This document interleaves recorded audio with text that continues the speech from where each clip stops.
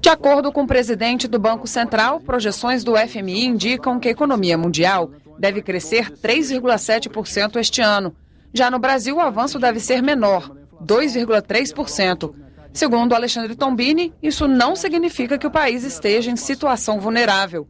Tombini rebateu o relatório divulgado em fevereiro pelo Banco Central norte-americano, que classificou a economia brasileira como a segunda mais vulnerável entre 15 países emergentes.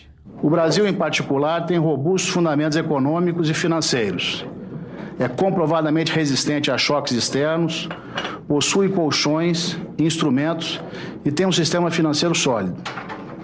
Possuímos 377 bilhões de reservas internacionais, somos credores externos líquidos, nosso endividamento externo é baixo e os compromissos de curto prazo são relativamente pequenos. Mas foi a inflação o tema mais abordado pelos senadores que participaram da audiência. Por que a meta brasileira de 4,5 ao ano é tão mais alta que nos países em desenvolvimento? Os efeitos das ações de política monetária sobre a inflação são cumulativos e se manifestam com defasagem.